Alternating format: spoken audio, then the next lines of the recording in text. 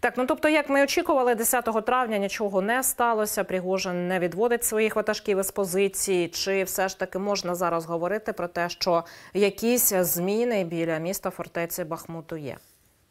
Так, зміни є, бо українська третя штурмова бригада відтіснила ворога, звільнила частину території неподалік від Бахмуту. Е, з цього приводу волав так само Євген Пригожин, але це результат ефективних бойових дій українських воїнів, які боронять місто фортецю Бахмут. Ну а те, що час від часу Пригожин розповідає про складнощі щодо е, снарядного голоду, то він бреше, бо інтенсивність ворожих обстрілів настільки щільна вблизи поблизу Бахмуту, що говорити про те, що росіяни не мають боєприпасів, це неправдиво. Е, це неправдива інформація. А от з якою метою Євген Вікторович такі речі ну, промовляє, я думаю, що скоріше за все він не хоче бути ЦАПом відбувайлом. Бо Путін поставив чергову задачу щодо взяття під контроль повністю Бахмута, Авдіївки та Мар'їнки. 9 травня минуло ці населені пункти і досі знаходяться під контролем українських сил оборони. Треба шукати ЦАПа від Бовела, треба шукати, хто буде відповідати за невиконання наказу Верховного Головнокомандувача збройними силами Російської Федерації. А якщо ми згадаємо невиконання наказів щодо взяття повністю під контроль всієї території Донецької та Луганської областей до 30 березня, то очевидно, що хтось має нести відповідальність, а хоч їх немає.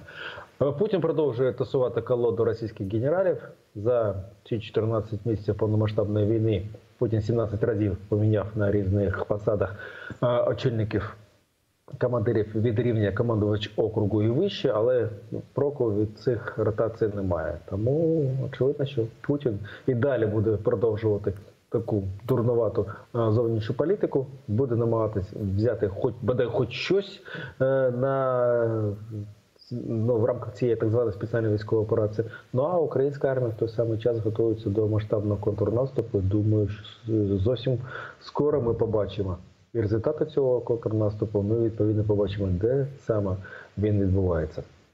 Ну тобто говорити про те, що є якісь зараз дії з боку тих самих е, вагнерівців е, на позиціях, ми зараз не можемо сказати, що вони готуються до відходу або відходять. Ні, інформації щодо переміщення вагнерівських військ немає. Так само, як і немає інформації, що їм на заміну підтягуються підрозділи е, Ахмат. Це така така собі е, калька з приватної військової компанії Вагнер, але готують та забезпечують ці підрозділи е, представники кадирівського режиму. Тож ротації немає, але бойові дії продовжуються. Штурмові підрозділи е, Вагнер продовжують штурмувати позиції наших оборонців в західних мікрорайонах Бахмуту. Так само росіяни, десантники в основному намагаються тримати фланги цих атак. Е, бої тривають і їх інтенсивність обумовлена тим, що росіяни ще мають достатню кількість і е, артилерії, і боєприпасів до цієї артилерії. Часто густо вони використовують авіацію для нанесення бомбових ударів, авіаційних ударів за допомогою тих самих кабів керованих авіаційних бомб. Війна трива. І Чотири є ключових напрямки, де росіяни докладають максимум зусиль, щоб змінити ситуацію на полі бою. Це напрямок на Ліман, відповідно, запекли бої в районі Бахмуту. Ну і не менш складна ситуація в районі Авдіївки і Мар'їнки, але е, та інтенсивність боїв, які зараз ми там спостерігаємо, вона вже є певною мірою сталою. Бої важкі, тривають вже досить тривалий час поспіль, і їх інтенсивність жодним чином не змінюється. А так, водночас з Бахмуту було дуже багато достатньо таких для нас добрих новин. Про по перше, про те, що була знищена частина 72-ї бригади рашистської. Я я так розумію, частина знищена, частина втекла. А також про певні успіхи, коли відбивали фактично декілька квадратних кілометрів, якщо я не помиляюся, наші воїни то можемо ми зараз говорити, що там відбувається, і завдяки чому це стало можливо ось такі результати, про які зараз е, ну обережно, але коментуються військові. Вони підтверджуються ці новини.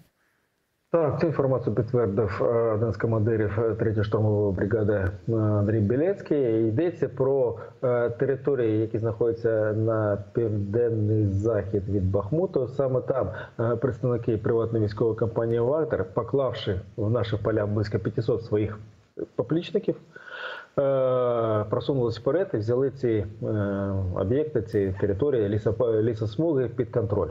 500 російських найманців загинули для того, щоб взяти під контроль цю відносно невеличку ділянку фронту, там десь площу в 3 кілометри. Потім на їх позиції зайшли підрозділи 72-ї мотопіхотної е, бригади. Не треба плутати з українською 72-ї механізованої бригади з Білої церкви. Там наші хлопці настільки міцні, настільки кремезні, що путінські вояки в районі Вугледара несуть шалені втрати, але нічого не можуть діяти з нашим спротивом. І ситуація статус-кво е, спостерігається там е, тривалий час в районі Вугледара. Навіть на деяких ділянках росіяни змушені тікати, бо надто зухвали, надто, надто жорстко працюють українські. Сили оборони нищачи раз за разом російських окупантів. Так от, що стосується ситуації е, щодо цієї ділянки фронту, росіяни там е, з числа 72-ї мотопіхотної бригади втратили не так багато особового складу, десь там е, чи то 6, чи то 7 десятків вбитими. Ну, певна кількість поранених. Але вони втекли, не витримавши тиску української 3-ї штурмової бригади. Відповідно, втрати, які зазнала до того е, приватна військова компанія Вагнер, вони виявилися марними. Бо людей вони втратили, території їх е, напарники фактично не втримали.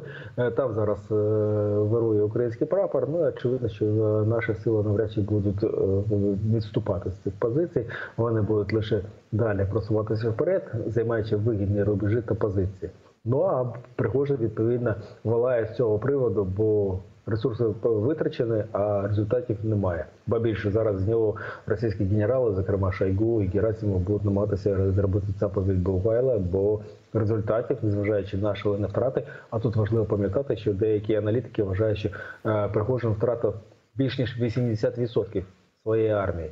Якщо е, згадати, що від початку у складі вагнерівських військ було близько 10 тисяч найманців, то очевидно, що більш ніж 8 тисяч російських найманців, колишніх ЗК, а також професійних військових, які з тих чи інших причин стали найманцями в ПВК Вагнер, вони втратили своє життя.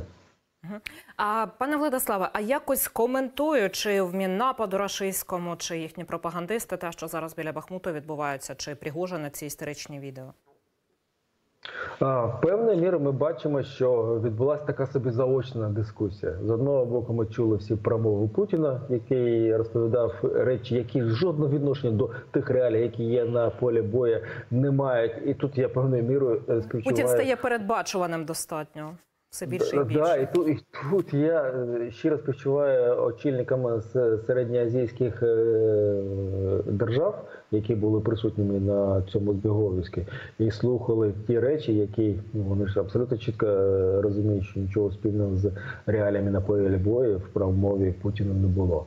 А з іншого боку, ми бачили е, ті досить такі Гучні заяви Євгена Вікторовича Пригожина, який звинувачував всіх і вся, по якогось там е- діда згадував, незрозуміло про кого йшлося, бо прізвище не називав, е- коли коментував ситуацію навколо Бахмута. Те, що е- російська Міноборони давно перетворилася з Міноборони в Мінінтриг, я думаю, що Пригожин має рацію. Так само Пригожин перший повідомив про те, що російська армія втекла з одного з, з однієї з ділянок російсько-українського фронту поблизу Бахмуту. Тож, е, хоча я часто е, говорю про те, що Пригожин перший тільки не відкриває рот, бачимо, що вчора він говорив речі, які мають підтвердження безпосередньо на полі бою.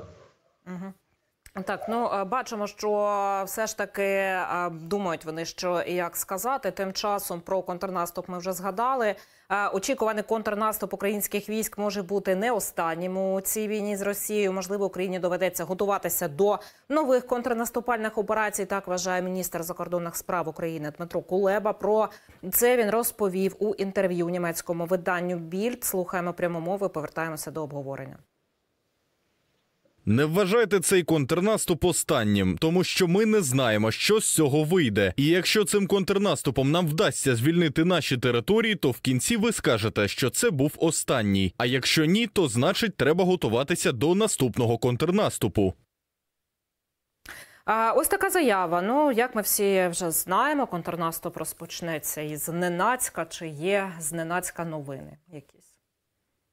Чудове місто, і насправді надто багато охочих е, дізнатися, де знаходиться це місто, і наскільки воно чарівне та привабливе. Але я певен в тому, що не дарма пан Кулеба е, стверджує про те, що ми дізнаємось про контрнаступ постфактум. І це правильно.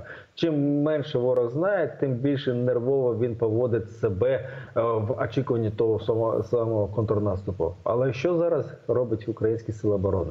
Вони готуються до контрнаступу. Причому не лише за рахунок проведення заходів з бойового злагодження, з переміщення збройної та військової техніки, з накопичення ресурсів. Українська армія зараз готує підґрунтя для ефективного контрнаступу. Ті самі оборони, які трапляються як на теренах Російської Федерації, так і на територіях, які нині знаходяться під тимчасовим окупаційним контролем російської армії. Вони не випадкові, бо вони спрямовані на те, щоб максимально послабити бойовий потенціал російських окупантів. Чим більше ворожих складів з боєприпасами перетвориться на попіл, чим більше вояків, їх озброєння та військової техніки ми знищимо за допомогою тих самих дронів камікадзе чи ударних дронів, чи за допомогою авіаційних чи ракетних ударів, тим більш ефективним буде контрнаступ української армії в перспективі, бо слабша армія ворога не спроможна чинити будь-який спротив. Саме над цим працюють нині українські сили оборони, зокрема наші розвідники, які шукають ворожі об'єкти, дають цілі вказівки для наших операторів дронів чи для наших громадів. Саме цим займаються інші сили оборони, які працюють над реалізацією головного завдання деокупації території нашої країни в кордонах 91 року. Так, ну і звичайно, що ми е, всі на це дуже чекаємо. Дуже багато в контексті цього, до речі, так говориться про те, що ці очікування контрнаступальних дій збройних сил України дуже ворога мають нервувати. Чи є взагалі ці ознаки паніки чи якогось напруження е, у ворога окупанта?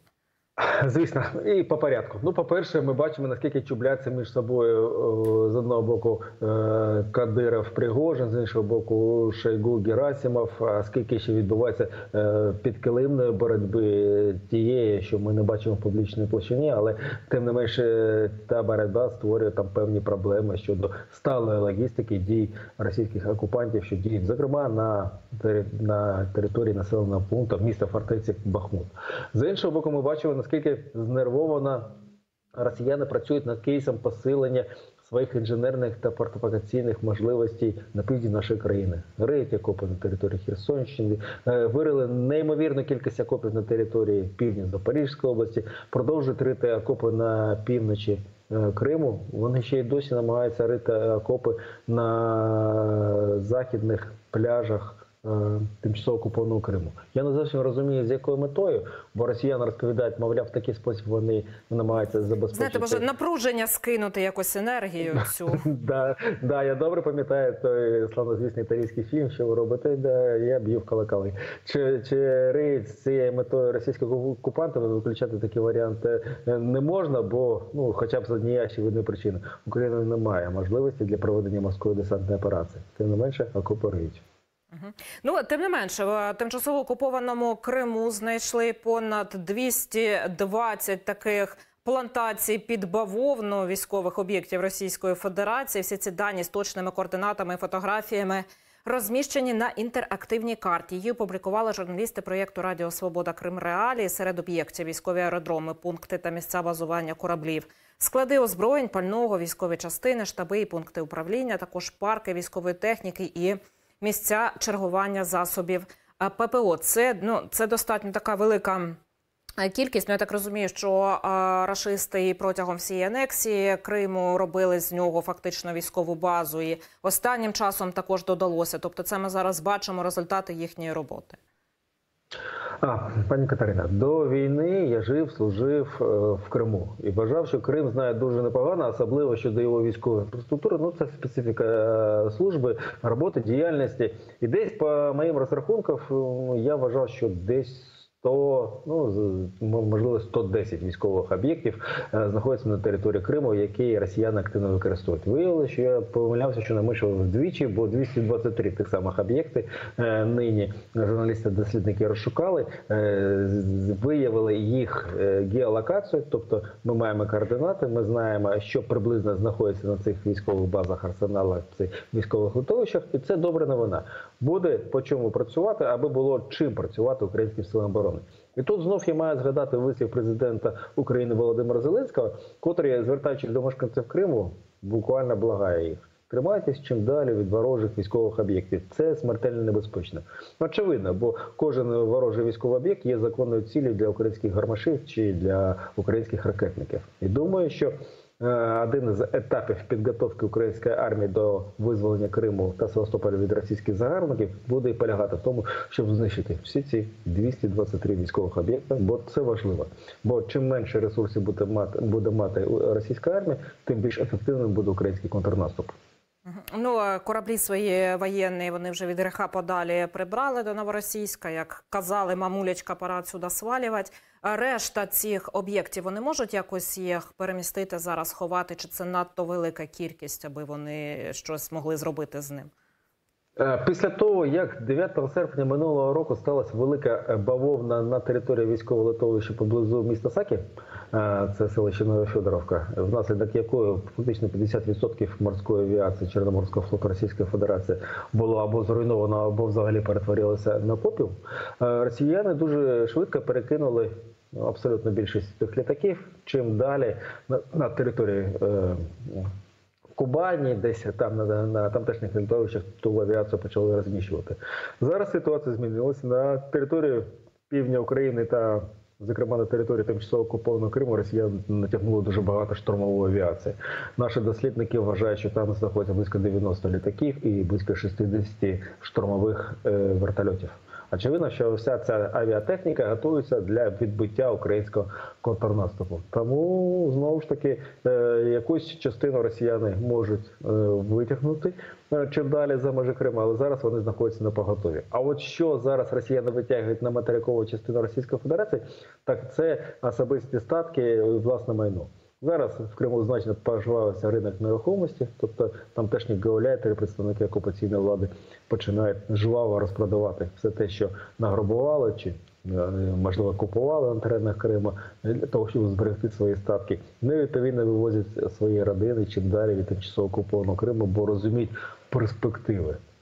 Е, Перспективи Криму і те, що Крим повернеться до складу України, те, що українська армія звільнить Крим та Севастополь від російських окупантів, очевидно, не лише для усіх нас, ну і для тамтешніх кримських гауляйтерів так само. Ну так, і все ж таки, мабуть, варто скористатися численними порадами, що поки стоїть Кримський міст, то таку можливість втрачати, поїхати із окупованої землі. Звичайно, що не можна. Потім це буде значно важче зробити. Пане Владиславе, мушу вас відпускати. Дуже вам дякую за те, що знайшли час до нас долучилися. Кажу вам до нових зустрічей в нашому ефірі.